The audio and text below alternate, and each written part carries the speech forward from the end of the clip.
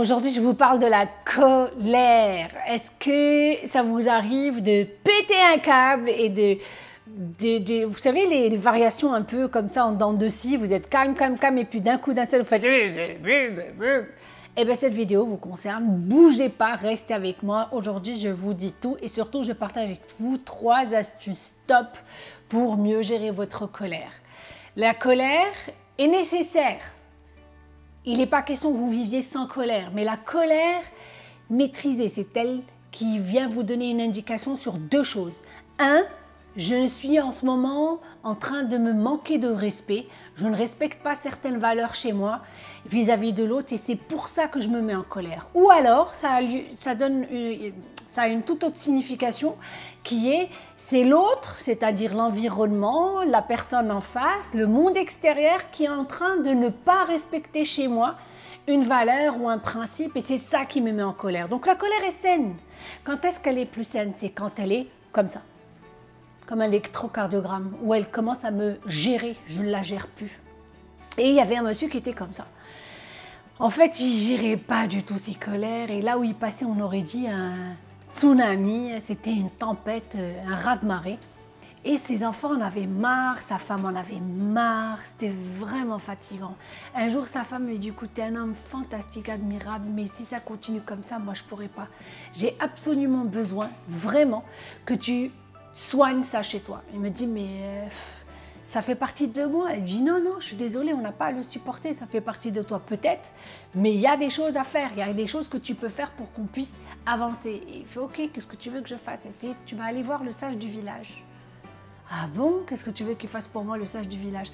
Va le voir, il est très sage, je suis sûre qu'il va te trouver une solution. Je dis ok, si ça peut te faire plaisir.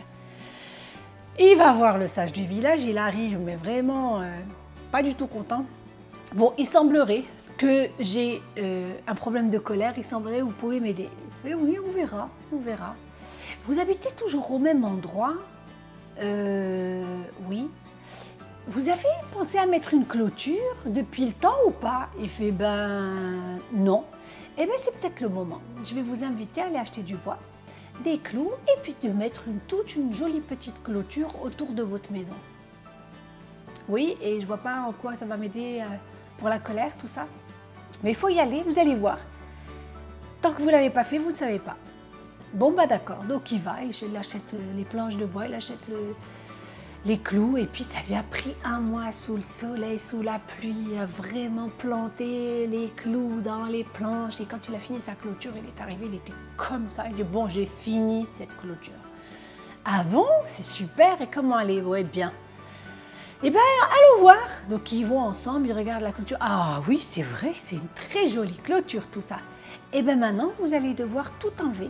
Et vous allez me poser les clous ici et les planches ici. Et là, il se met dans une colère. Non, non, mais ça va pas, vous m'avez pas fait faire tout ça. Et sa femme qui sort, vous l'avez vu? Je vous l'avais dit. Vous avez vu sa colère? Elles sont comme ça tout le temps, on n'en peut plus. Il se calme et ça lui reprend un autre mois pour tout enlever. Au bout d'un mois, il arrive les mains complètement avec des cloques, euh, vraiment euh, égratignées de partout. Il n'en pouvait plus. Il arrive et fait c'est bon, j'ai enlevé la clôture, j'ai séparé les clous et j'ai séparé les planches. Super Allons voir ça. Et ils arrivent et fait euh, elles sont où? Je dis ben voilà, ça c'est les planches. Il me dit ça c'est quoi? Il me dit vous voyez bien là, ça c'est des planches. Ça c'est des clous. Mais qu'est-ce qu'elles ont vos planches? Bah, euh, elles ont des trous parce que j'ai utilisé des trous pour les coller les unes aux autres. Hmm. Hmm. Et il marque un long silence et il lui dit la chose suivante. Vous avez vu ces planches? Elles comportent un trou, vous avez parfaitement raison. C'est exactement ce que vous faites avec votre famille. Toutes les fois où vous vous mettez en colère contre un membre de votre famille, même si vous présentez des excuses, même s'ils vous pardonnent, il n'empêche que vous laissez un trou dans leur cœur. Et c'est exactement le message que j'ai envie de vous faire passer. Aujourd'hui, avant de vous emporter contre quelqu'un, pensez à cette histoire, pensez à moi, pensez à la personne que vous aimez qui est en face de vous. Est-ce qu'elle mérite vraiment d'avoir un petit trou dans son cœur? Parce que même si elle vous pardonne, même si elle oublie, la cicatrice, vous le savez, elle va rester là. Et c'est ce qui se passe dans les couples avec les, enfants. On encaisse, on encaisse, au bout d'un moment, notre petit cœur n'a plus de place pour endosser un autre trou et c'est la cassure définitive.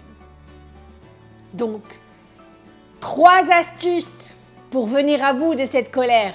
Parce que le problème, quand c'est la colère qui vous drive, qu'est-ce qui se passe? Et vous êtes comme ça. Et vous êtes comme ça. Je suis sûre qu'il y en a quelques-uns qui disent Ah oui, c'est vrai, je suis sûre. Ah ouais, non, mais comment elle le sait C'est incroyable. Je suis passée par là. Il n'y a pas de secret, je l'ai vécu et c'est horrible. Heureusement, aujourd'hui, ça va beaucoup mieux. Donc, je vais pouvoir vous partager quelques-unes des, astuces que j'ai trouvées, que j'ai pratiquées. Ça ne vaut que si vous pratiquez, pratiquez, pratiquez, pratiquez, pratiquez. D'accord? Je, ne suis pas Harry Potter, je n'ai pas de baguette magique et c'est pas en le faisant une fois que ça va marcher. Si vous voulez demain avoir six packs, tablette de chocolat, il n'y a pas de secret, c'est trois mois d'abdominaux en salle. Et eh bien c'est la même chose. Je vous donne des astuces à condition de les pratiquer. La première, si je vous dis le mot colère, et je vous dis spontanément, donnez-moi une couleur. Une couleur, une couleur, je suis sûre que vous avez du rouge. Pourquoi? Parce que c'est exactement ça, c'est le feu, c'est quelque chose qui nous dévore de l'intérieur. Et bien le feu, on l'éteint avec deux éléments, dont un le plus fort, c'est l'eau. Donc c'est ça. Qu'est-ce que je fais quand je suis chez moi, quand je suis à un endroit où je peux avoir accès à l'eau, dès que je sens que la mayonnaise monte, et on le sent, hein, la mayonnaise, elle prend, elle prend, elle prend jusqu'au moment où je fais ça. Dès que je sens que ça monte, direct, j'arrête la discussion honnête avec la personne, je me dirige vers l'eau, je prends neuf gorgées, neuf. Mais quand je les prends, c'est pas neuf gorgées d'affilée, je prends, j'arrête, je prends, j'arrête. C'est comme si je coupe le rythme, je saccage le rythme de la colère, d'accord? Je lui coupe l'herbe sous le pied, au fait. C'est radical, c'est fantastique, je continue à le faire aujourd'hui, c'est vraiment super. Ça, c'est la première des choses. La deuxième, c'est j'ai pas d'eau. Ok, qu'est-ce que je dois faire? Qu'est-ce que je dois faire? Très simple.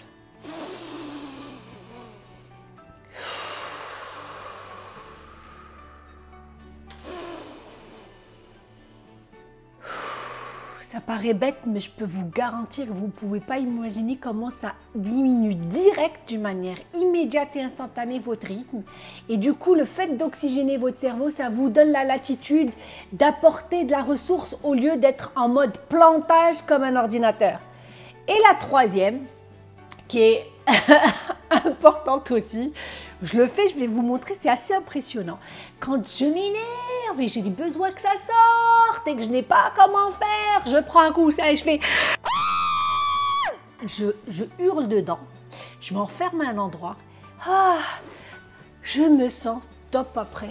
Ça dépend, ça c'est vraiment quand c'est une énorme colère, quand je sens que ça va être quelque chose d'immonde et que je vais vomir mon fiel contre quelqu'un qui n'a absolument rien fait.